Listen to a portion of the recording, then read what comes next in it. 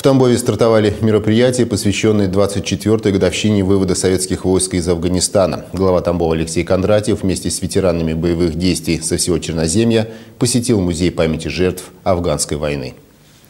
Музей воинов-интернационалистов имени Владимира Семенова существует уже более 25 лет. В его коллекции несколько сотен экспонатов, которые хранят память о тамбовчанах, погибших во время боевых действий на территории Афганистана. Первым экспозицию оценил глава областного центра Алексей Кондратьев, к слову, тоже служивший в Афганистане.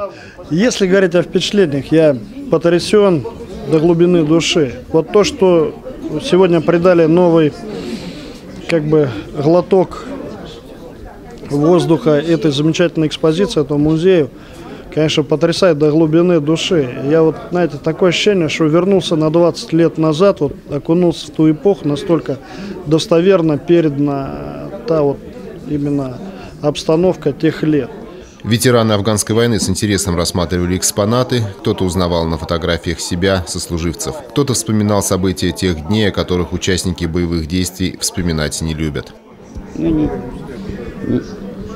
будем так говорить. Ну, врать не хочется и правду говорить неохота. Музей воинов-интернационалистов находится в здании второго корпуса 13-й школы, бывшей 34-й. Любой желающий может посетить его абсолютно бесплатно.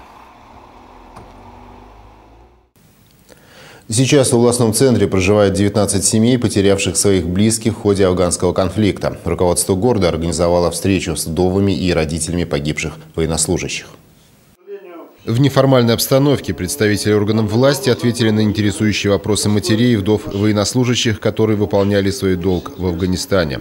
Все пожелания руководства взяло под личный контроль. Также Алексей Кондратьев выступил с предложением создать единый онлайн-мемориал погибших солдат.